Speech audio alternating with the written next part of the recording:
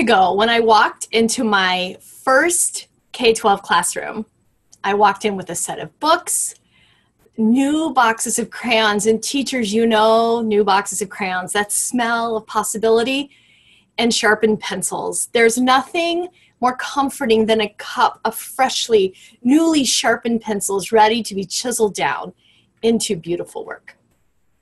Well, the first few years were rough, as they are for any teacher, regardless of the level. But I learned a few things right away. First, my way of doing school did not fit into the framework of how my students perceived doing school. Second, my initial want of students being excited about everything I could teach them was not a reality. It was a cold reality indeed. And third, my students needed more from me than I had been prepared to give at the time. In essence, instead of ruling my classroom like a queen, I needed to tend it like a garden. I wish I could say that these lessons are different in my online classroom, but they're not. Daily, I am renegotiating relationships with students based on our different frameworks of school, our backgrounds, with teachers and education, as well as the demands on their time. I love what I do, and I bet you do too.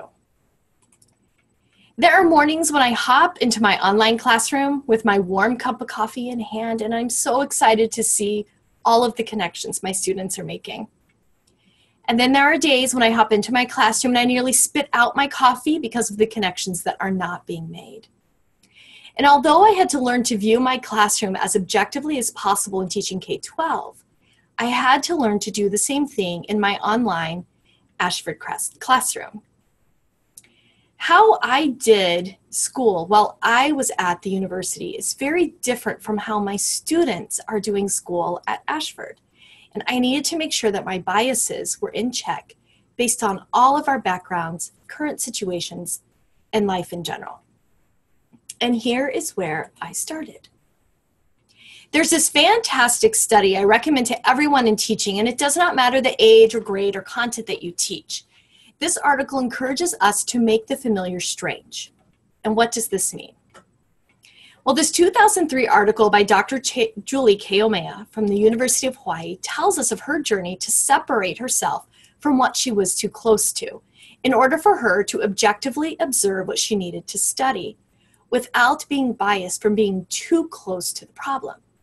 She had to derive a way of making the familiar strange in order to be able to look at her own practice in a way that could reflect objectivity onto her teaching and research. She also included information that she drew from from Victor Shklovsky's, and if I am mispronouncing that, I am sorry. but she used some of Victor Shklovsky's 1917 and 1965 works that explained that what we do, see, and hear every day becomes automatic. And in this automaticity, we do not necessarily look at everything objectively. And we move through our days, and dare say our classes, with a to do list to accomplish. We are challenged to slow ourselves down, to linger, to notice. Those end of course surveys we get at the end of our courses, how much attention do we pay to those? Do we linger over them? Do we dismiss them? Do we notice anything about them? The questions our students send us in the Ask Your Instructor feature of our course. What do we notice from them? Do we linger over them? Or do we answer and then dismiss them?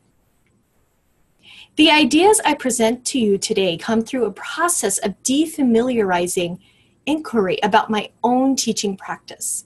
I want to look beyond what is familiar with my class, my students, my program, and surveys. What can I notice and what can I linger over? What can I make more objective in order to help my students succeed? How was I going to help my students bloom where they were planted and not just where I wanted them, wanted them to grow?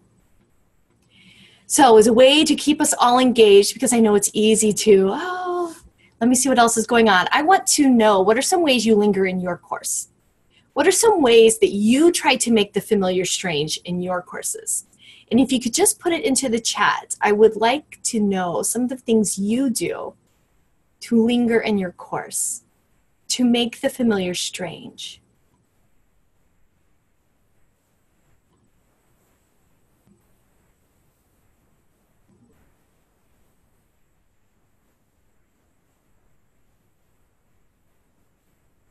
I'm seeing crickets. Oh, since I teach law-based courses, I play devil. Ooh, you play devil. Oh, I like that. So to push thinking and to um, make people go to a higher level of critical thinking, I like that. I like to have announcements where students are asking to respond. Oh, I like that as well.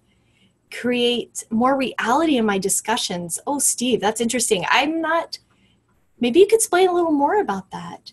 Lynette always reads the course surveys and try to implement those. Yep, linger in discussions throughout curveballs. Try to see the opposite of the picture, asking questions, being devil's advocate. So it looks like we're all doing great things with lingering.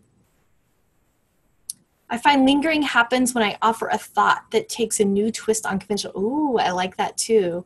Voluntary open discussions, nonfiction books. Absolutely. I love all of those ideas, and I'm probably going to write them down when I watch the recording for all of those ideas to see um, what I can implement as those as well. Copying and pasting a small part of the student's discussion, I like that idea. So when I'm thinking of the dominant, dominant narrative in my life, and that narrative has changed from when I was younger to now and about how I view education. My narrative includes education is important.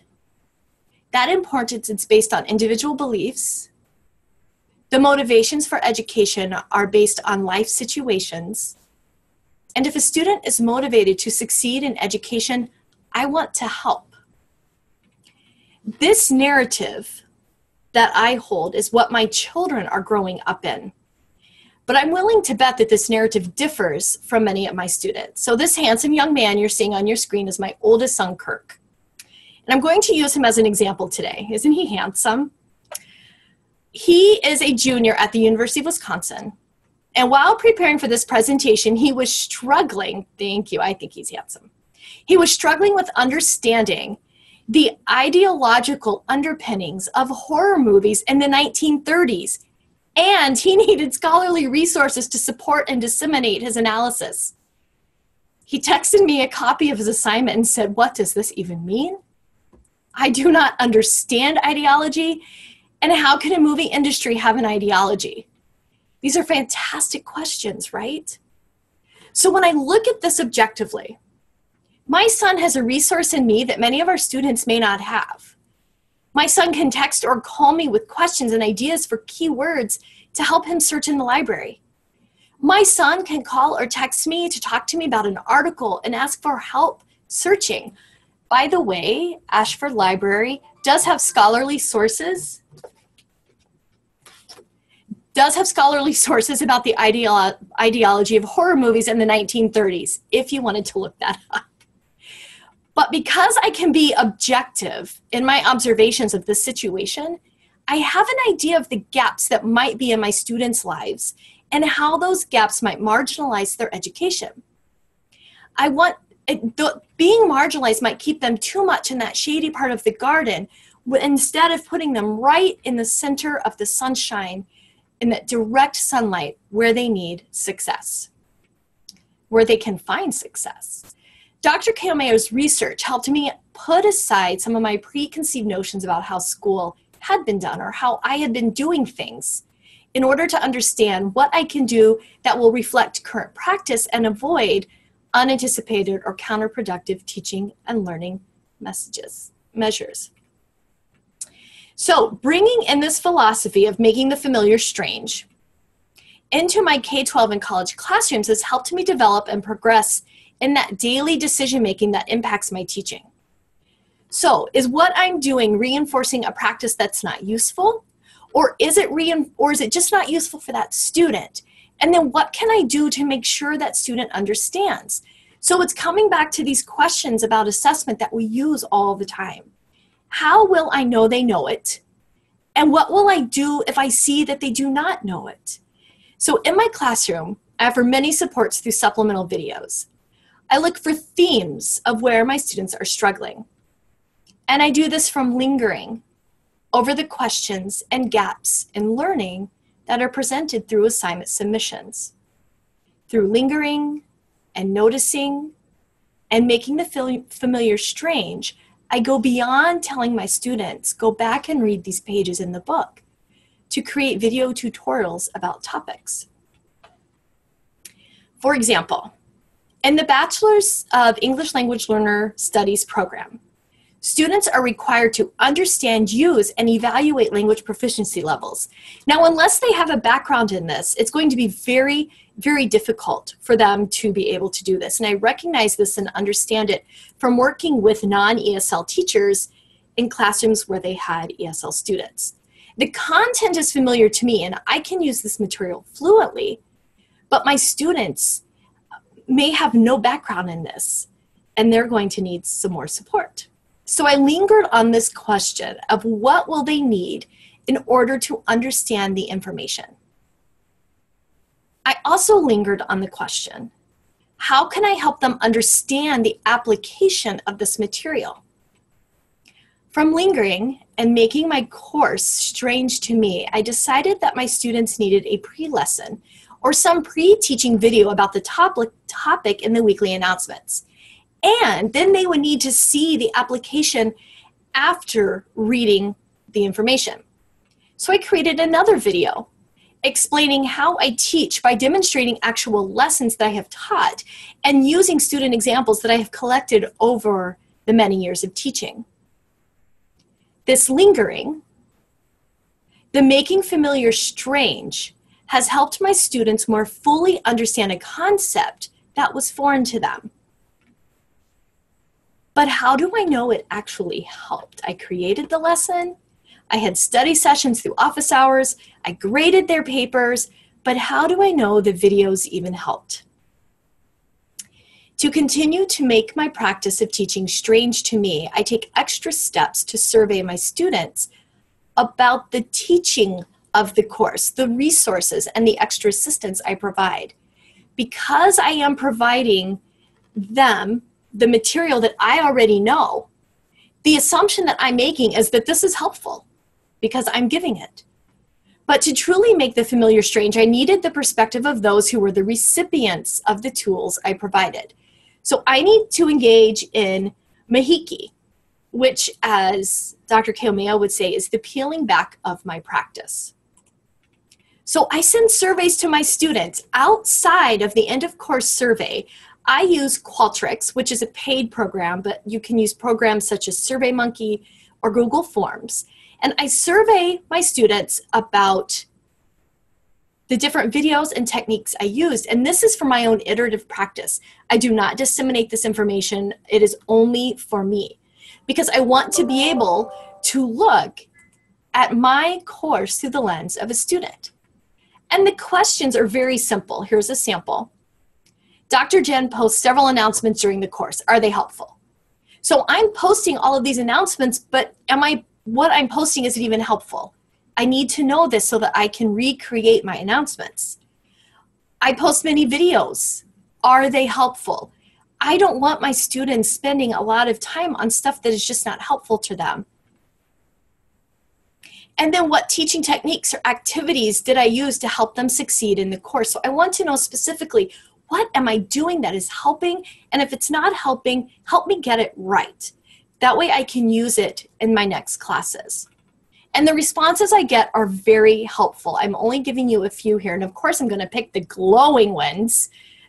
so the first one was um, I loved how she used videos to supplement the course. It gave her it gave a personal feeling that our instructor was right there to help, and the video conferences are a great idea. So the greatest part about this first one is this student was in the United Arab Emirates. And I was able to bridge that digital divide with her through creating these videos and making myself an intrusive presence in her course, even though we're online and we we would not see each other, one because we're on two continents. But I was able to help bridge that and make make it comfortable, provide some of that um, feeling that I can give to Kirk. The videos supplement the course information because it expands on what is in the textbook. The textbook tells you about a technique, but the videos dive into the topic more. And then the links. So the videos I create and the resources I create, I make sure that they are an open link so that students can come back, or a static link, so that students can come back and use those in the future. The videos in the study guide are the most effective because I some, sometimes do not understand the text. So in one of my courses, there's quite a bit of brand new vocabulary. And if you're in literacy teaching or in English, we call these tier two and tier three vocabulary, very domain specific.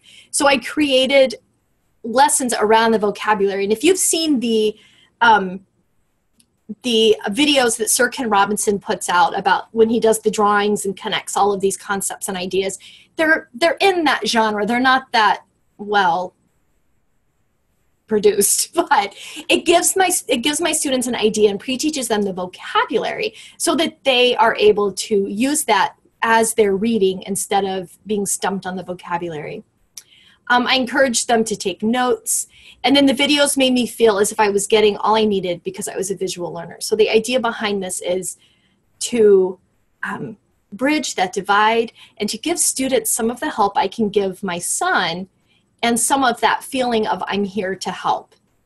So now I want you to think of your own classroom. And we talked about earlier how you make the familiar strange. Now I want you to think about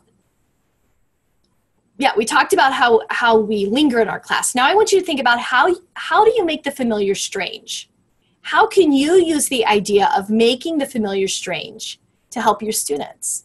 So I'm curious your ideas now. What are some ideas that you have to make the familiar strange to help your students.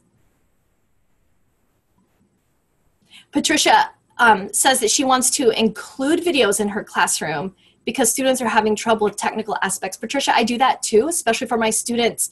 Um, I'm fortunate to be able to use the conferences app or the conferences feature in Canvas right now, and I did um, a very short minute and a half video for my students about how to access conferences and then how to access the digital textbook. And they really do appreciate that. And so when you have those already recorded, and I use a program called Screencast-O-Matic, and I pay for it so I can keep the videos there. Um, as my students are having difficulty, I can put those links right into their feedback in their homework or in their assignments and their discussion and their journals, wherever they're needing that feedback at the moment. Contrasting ideas with current events absolutely. And so when you work in a field where you're working with many immigrants which is as an esl teacher and english as a second language teacher there are many preconceived notions. So some of what we do in that class is talking about how are we shifting our own perspective about how we view students who come from other countries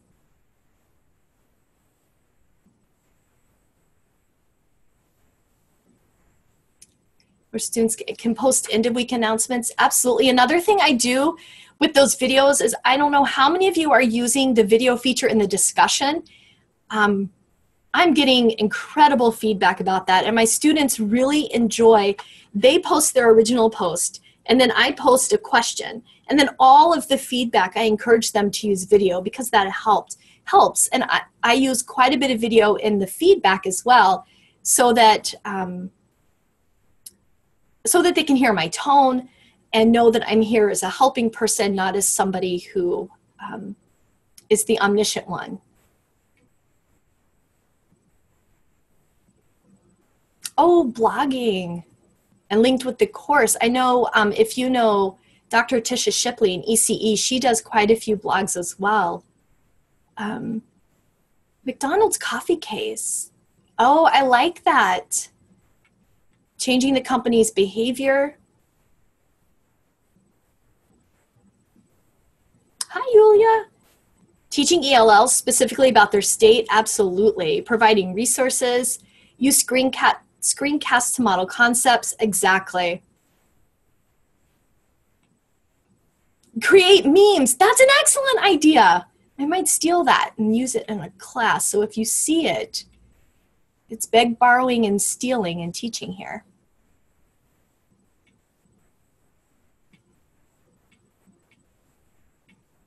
Oh, absolutely. Um, if you want information about this, send me an email. It's jennifer.robinson at ashford.edu. I am so happy.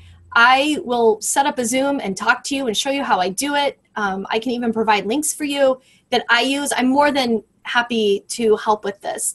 And sharing memes would be hysterical. I would love to do that.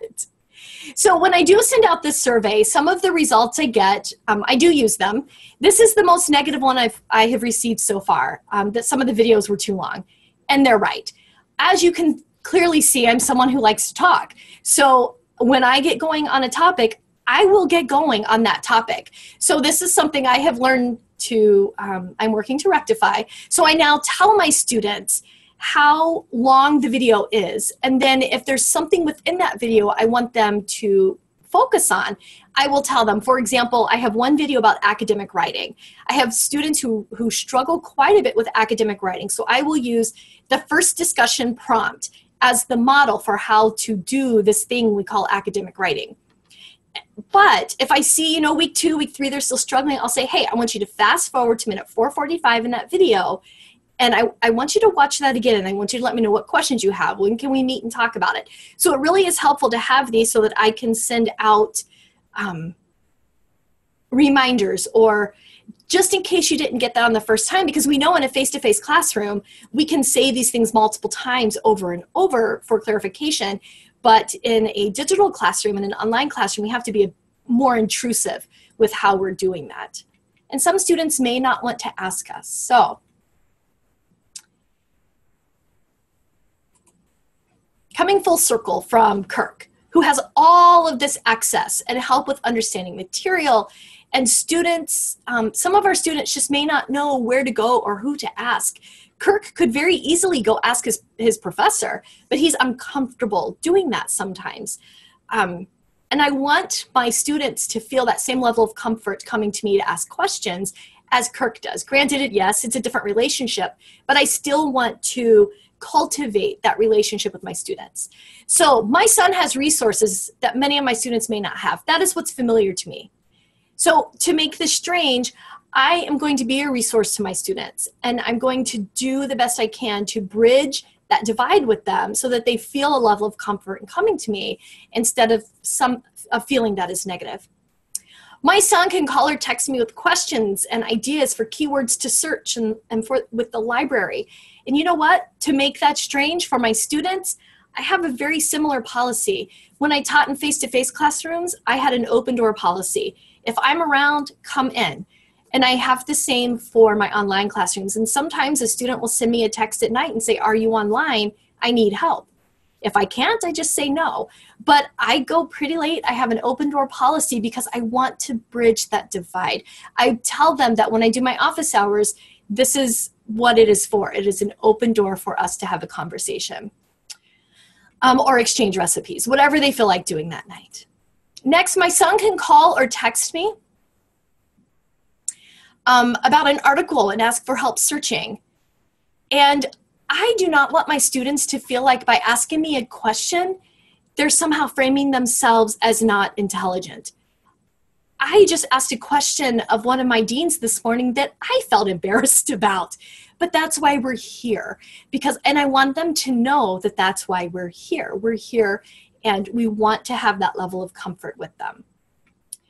So, making the material in my course strange to me allows me to find gaps in knowledge and situations that, that could stump my students. So now I want you to contemplate in your own course how will you make the familiar strange? How will you leap over the digital divide to help your students successfully grow as a student? And how will you engage in Mahiki to better your practice?